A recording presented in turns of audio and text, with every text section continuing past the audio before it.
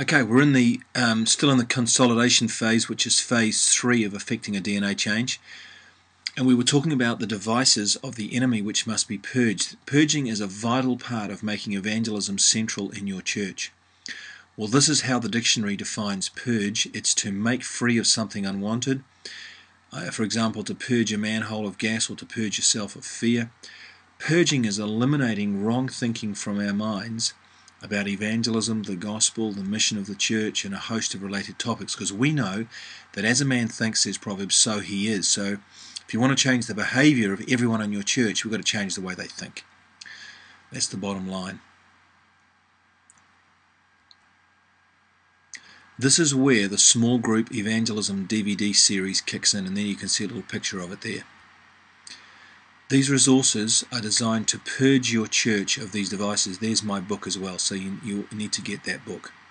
So those are the two two um, resources that you that really um, are going to help you do the purging. In the DVD series, there's 19 studies. They range from 15 to 45 minutes in length. Um, they also come with a study guide, um, and there's a leader's guide that goes uh, with them as well. There's also a little booklet called Essential Truths, which is which is ten dollars, and my book I think is is forty dollars US. Okay, so everybody in the group needs those, which will be thirty-eight dollars per person, and um, the leader will need those two: the leader's study guide and the DVD series. Of course, for churches that are buying these in bulk, there's obviously huge discounts if you're going to buy them in any sort of quantity for your churches. As you work through the DVD series, one study per week, there is an inspirational daily reading for each day. We put this together. These are the um, this is a collection of the writings of spiritual giants in history and what they had to say about evangelism, missions, the Great Commission, etc. The contributors include Hudson Taylor, William Carey, John Stott, Spurgeon, Whitefield Moody, Tozer, Carson, Packer, Martin Luther, Charles Finney, and many, many other great Christians. These readings, which all focus on evangelism, are designed to inspire, to encourage, to motivate, to lift you up, to help you um, come to a better understanding of the theology of evangelism, to broaden your knowledge of the history of evangelism, to lead you into unity with Jesus and his mission. So they're a fantastic set of readings. They're $35. All right. So um, after you've done your purging, what we're going to do is we're going to put in place structures and strategies to build a culture of evangelism and affect a DNA change. So um, we need to, to look at some of the structures and strategies that we're actually going to use. The year plan includes these strategies. So we've um, we've going to do our evangelism DVD series here. We, we're just previewing it at this stage. Notice that your EPP will set up a library of resources. If your people are going to evangelize the world, they need to have the tools and resources to do the job. So that needs to be done. There it is in the first four weeks of the year, whatever time in the year you start doing this. Here's another strategy Great Commission surveys. You can see that there, they're the green ones on the on the year map, G, GCS, Great standing for Great Commission Survey, and you do those every fortnight. Well, what's a great, this is a strategy applied on Sunday mornings in the church service. Let me show you how it works. Exactly what is a Great Commission survey. Every Sunday morning, people entering the church will find a piece of paper like this in their church newsletter. It'll just have proclaim the gospel on one side, spread the gospel on the other. People enter their evangelism activity for the previous week. For example, they might put a zero in there and they might have given out three little cards to somebody there or whatever. So there's they put three in that in that box. The survey is completely anonymous. The papers are collected with the offering. They are quickly tallied out the back of the church. Before the end of the church service, the totals are announced by the pastor, especially the number of pieces of paper handed in. Why do we want to know that? We want to know how many people are active in the church as a percentage of the total number of people in the church. You could have graphs showing weekly, monthly, annual trends. Following the announcement, with one uh, follow, follow the announcement with a one minute testimony of someone's experience in evangelism in the past week. You could do that. So in this particular church the members spread the gospel to 49 people and 18 people in that town had the gospel proclaimed to them. Wow. What a great stat. If that's the mission of the church to evangelize the world, we need to know how we're going with that. With this one simple strategy, you're keeping Jesus and his mission in their rightful place in church life central. There will be accountability. Your church will bring in great glory to Jesus, and ultimately, that's what it's all about. Here are a few more strategies and structures. We're still in the consolidation phase. The following is a fantastic strategy which has huge potential to see people saved and assimilated into your church.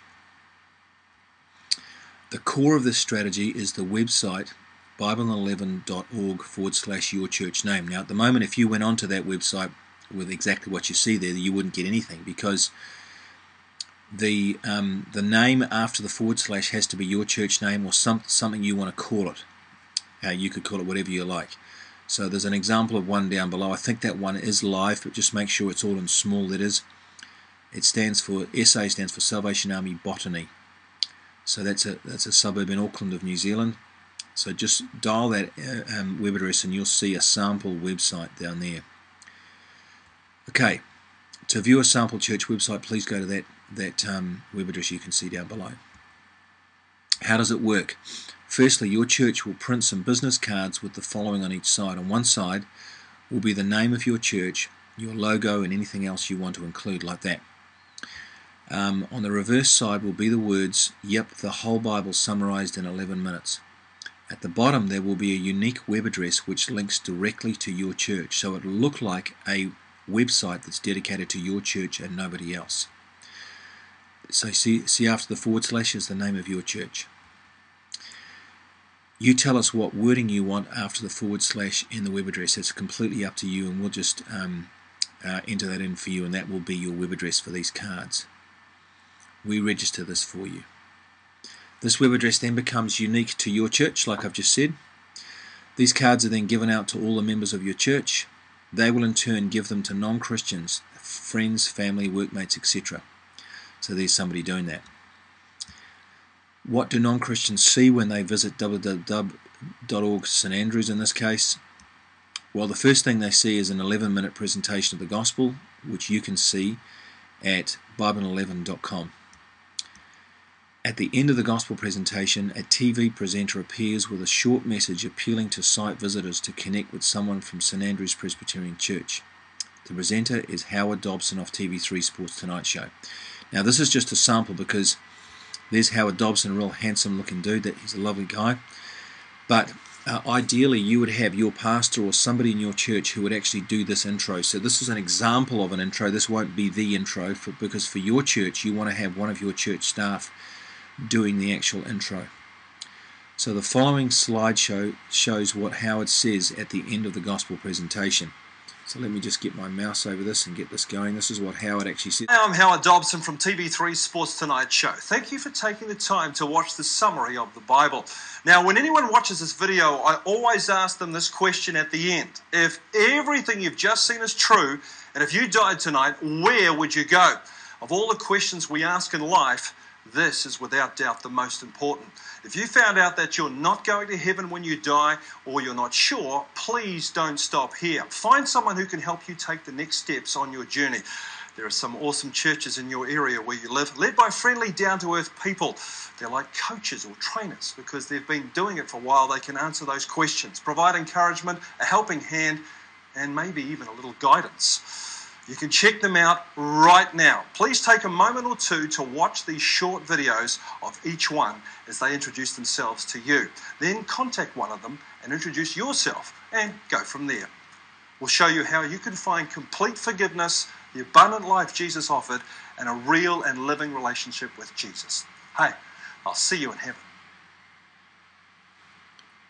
Okay, that's the presentation and uh, that will come at the end of the gospel presentation. Now, actually, we we really wanted to have um, your pastor or whoever is going to do an intro before the gospel presentation, and then something after the gospel presentation. So that the gospel presentation is actually sandwiched in between two appearances of one of your staff members, and then they go through to this page, which is um, all the people in your church who are making themselves available as, as contact people for people who come on the site. Website visitors are automatically taken through to another page the page has 30 second videos of people in your church. These people are volunteering to make themselves available to connect with non Christians who visit the site. Um, that's what it actually looks like. The site does look like when it's going. So there's just one of the people. And you notice the arrows.